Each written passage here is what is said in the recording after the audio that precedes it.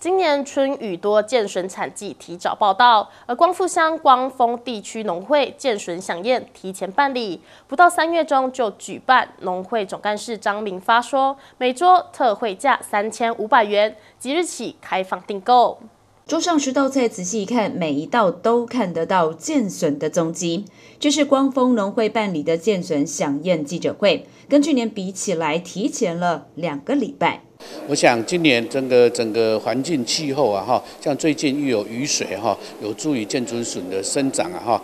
今年光丰农会与在地六家业者合作，要求每一家业者菜色都不能马虎，有咸猪肉、路桥剑笋拼盘、炒剑笋、剑笋蹄膀等菜色丰富。我们在地的食材哈，虽然我们重复煮了一二十年呐，但是每一年我们都会增加一些新的特色。但是我觉得说了，呃，最重要是卫生，然后还是卫生。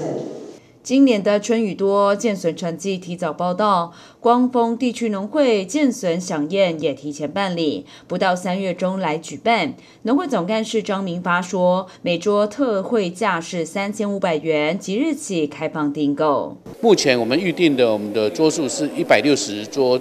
桌的现损响宴，我们预定下个礼拜一开始哈，哦，你可以打我们的推广部的电话零三八七零五二零六订购哈。我想这种东西就是呃额满为止啊。